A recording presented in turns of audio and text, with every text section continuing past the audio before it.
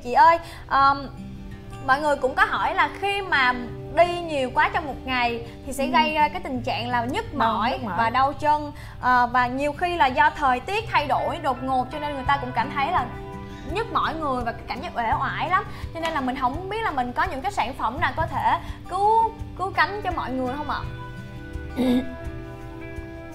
um, đối với những người mà thỉnh thoảng uh, tập thể thao dạ. hoặc là thỉnh thoảng uh, có vận động nhiều lên. Tức là ngày thường ăn ngồi chơi hay là ngồi uh, ấy qua thôi.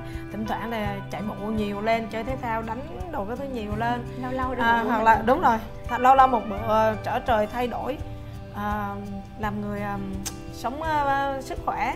À, rồi um, đi du lịch thì bình thường thì ví dụ mỗi ngày bình thường mình đi mấy km mình đi du lịch cái đó là bình thường à, tại vì đi du lịch thì ai cũng đi bộ nhiều thôi nhưng mà ngày thường thì ít đi lên ra khỏi nhà thì đi xe Honda lên công ty rồi lên vậy đó à, ít đi bộ nhiều yeah. Dạ. nên là khi mà đi du lịch hay là đi đâu đó nhất là như mấy cái mùa hè này này thì à, sẽ à, sẽ bị đau nhất nhất ở trước là cái bàn chân à, rồi có người thì nhức sang cái lưng dạ. à, nhất là mấy bác mấy cô lớn tuổi không mà không đi thì không được. Tại vì à, mình à, tuổi trẻ hay là tuổi lớn vậy cũng vậy mình phải đi để mình à, tìm hiểu là mình được trải nghiệm.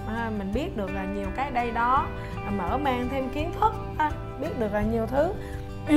Nên là phải đi thôi và đi từ thời gian thích nhớ hợp nhất là à, vào mùa hè. Dạ. mùa hè thì các em bé được nghỉ học nè rồi gia đình à, sắp xếp được các cái điều kiện để đi. À, đi thì thường bây giờ các gia đình đi theo theo cha mẹ các bé đi đi nguyên một cái đại gia đình với nhau rất là vui. Và đi như vậy thì nó khác với đi à, các cái gia đình trẻ. Tại vì đi vậy thì phải dẫn theo ba má đi thì phải chăm sóc sức khỏe của ba má. À, và nếu ví dụ mình mình đi ở trong nước sao đi ra nước ngoài ví dụ nửa đêm hôm kêu đau chân dạ. à, đau đầu đau cổ hay này kia các cái không biết lấy cái gì à, lấy cái gì sức. À, có nhiều người thì chọn mấy da mấy cái cái miếng dán miếng đồ nhưng mà dán thì nó chỉ đỡ lúc đó thôi mà nó làm nóng cái con người mình thêm nữa. À, thì à, ở bạn có thể sử dụng cái cái cái lăn lăn foot and back tức là cái lăn dành cho chân và và và lưng. À, cái lăn này nhỏ nhỏ này như là của aroma đó nó cũng có lâu rồi khoảng mấy năm đây rồi à, cái lăn như thế này thì à, bạn sẽ lăn vào cái vùng à, vùng bàn chân của mình ha. Sau khi mình à, đi nguyên ngày về rửa chân tay tắm rửa sạch sẽ bắt đầu lăn lau khăn khô lau cái bàn chân à, cho cái à, cái đầu lăn ra nơi chỗ cái bàn tay của mình nó bắt đầu xoa cho là bàn chân rồi xoa cho nó ấm lên ha. Rồi quay ra xoa từ dưới cái bàn chân xoa lên cái cái cái đầu gối á, cũng xoa quanh quanh như vậy đó. À thì à, khoảng ờ, chút sau thì nó êm và sang ngày hôm sau thì không cảm giác là đau hay nhức mỏi nữa hoặc là à, cái phần lưng cũng vậy thì cái lưng thì mình hơi khó xoa thì mình à, nhờ à, con cái là dạ. ai ở trong nhà đó cũng cho ra tay để xoa thì phần lưng á là thường là đau nhất á mà khi mà đi bộ hay là vận động nhiều là đau ở cái phần giữa hông này đổ xuống dạ. ừ, sau hông còn cái phần mà đau á à, đau ở trên vai cổ gáy thì thường là cái này dành cho những cái người mà họ ngồi lâu là một ở trong giới văn phòng á còn mà đi bộ hay là ấy nhiều thì chủ yếu là đau chân và đau cái phần hông dạ. lưng à, nếu mà mình không có cái hỗ trợ tạm thời và mình để cho nó đau đau như vậy thì người rất là khó chịu và rất là mệt. Mà ngặt một cái là những cái viên à, những cái cái loại đau mà trong à, nhất ở trong xương trong cơ do vận động hay do thế này thế khác chỉ có sức gây xoa thôi. Còn lại uống thuốc vào lại không có được tại vì uống thuốc đó chẳng qua là cái thuốc giảm đau tức là nó đánh lừa cái cảm giác nó là đánh lừa cái cái cái hệ thần kinh á cái cảm giác của mình để làm cho mình cảm giác là không có bị đau nữa. Nhưng mà thực ra là nó không trị được.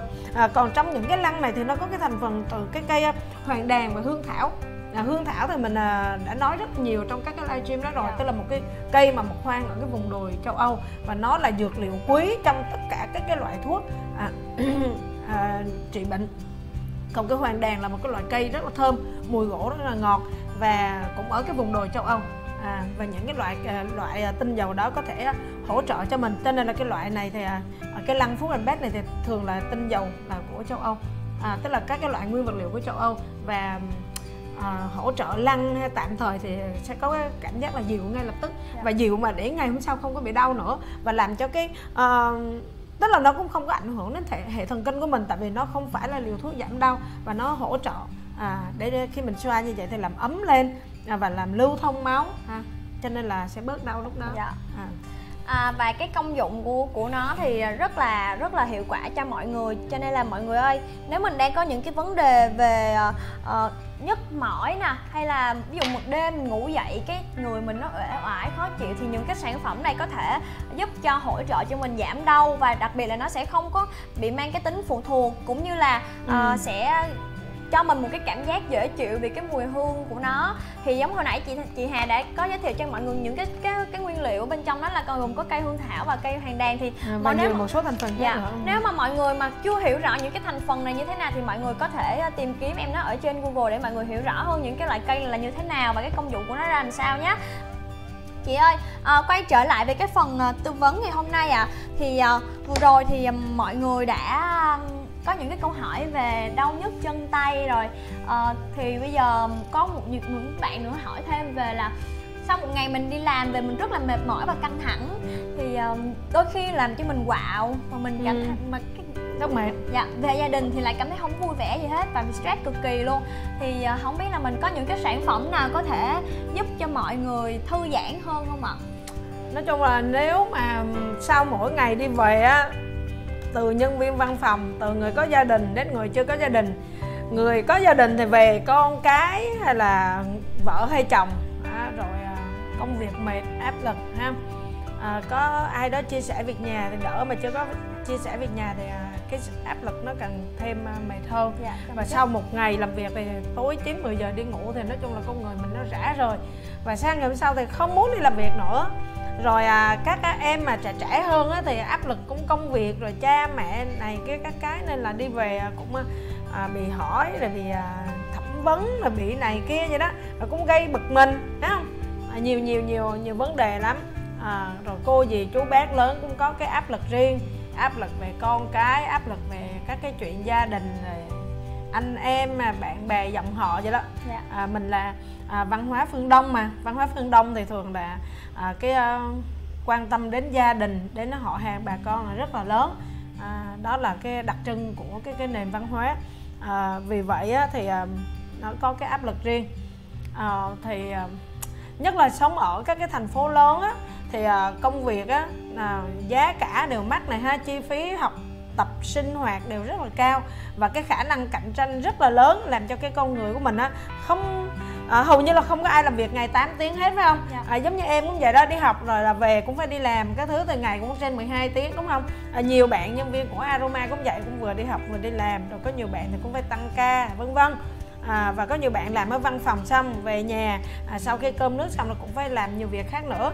À, thậm chí có nhiều bạn mà mình biết á à, thức đến hai ba giờ sáng để à, còn làm việc dạ. cho nó xong cái um, à, cái lịch hoặc là trong cái cái, cái, cái chỉ tiêu á. À, rất là rất là mệt mỏi. À, vì vậy á à, nếu mà mình không có cái giải pháp để làm cho mình à, à, bớt mệt à, rồi à, tái tạo lại cái à, năng lượng cho ngày hôm sau. Thì cứ mệt mệt mệt như vậy. Và nhiều bạn là gây ra là khó ngủ ngủ không được. Rồi bây giờ nhiều bạn trẻ còn trẻ đó đã gây ra là đột quỵ rồi à, ngày xưa đột quỵ là phải 50 60 tuổi trở lên là bây giờ là hai mấy tuổi là nhiều bạn đã bị đột quỵ rồi. Thì cái đó là do không có tập thể dục là do cái cường độ áp lực ha công việc vân vân và bị. Thì à, bạn à, có thể um, dùng à, về nhà mình á sau một ngày mình làm việc mệt à, thì bạn có thể sau khi mình à, nghỉ ngơi ăn uống rồi tắm rửa rồi xong xuôi rồi á yeah. Dạ. thì mình có thể dùng cái dầu à, à dầu à, xả à, dầu cam quế tức là cái dầu mà xoa cam quế dầu body cam quế để yeah. chi dạ. cái dầu này thì nhất là làm cho mình tỉnh táo à, không phải là tỉnh táo như là mình uống nước trà nước cà phê đâu. Tức là làm cho mình cảm giác dễ chịu ngay cái lúc đó. Rồi à, khi mà mình xoa như vậy thì làm cho máu huyết mình nó lưu thông. Dạ. à rồi cơ thể mình là tại vì trong cái cam á, thì nó cái tinh dầu cam ngọt á ở bên trong cái cái cái body hương uh, body cam quế thì nó làm cho săn các cái tức là gọn thu gọn các cái tích nước ở dưới các cái biểu bì da. Dạ. cho nên làm cho cơ thể mình à, nếu mà mình dùng nhiều á thì cơ thể mình nó nó, nó săn chắc nó không có bị bệu ra. Dạ. cho nên bạn để ý nha người nào mà hay chăm chỉ đi sông hơi với massage thì cơ thể rất là săn. Dạ. rất là trẻ. Dạ. à, da dẻ đều rất là rất là khỏe thì mình nếu mà mình buổi tối mình tự làm cho nhà của mình á thì mình chỉ cần xoa tay chân thôi à, xoa tay chân xoa một chút ở bụng à, vùng cổ gáy để yeah. cho nó thoải mái và thư giãn sang ngày hôm sau và mình nằm ngủ mới lạnh á thì không có bị khô da nữa à, và sang ngày hôm sau thì rất là thoải mái. À, tinh thần rất là thoải mái.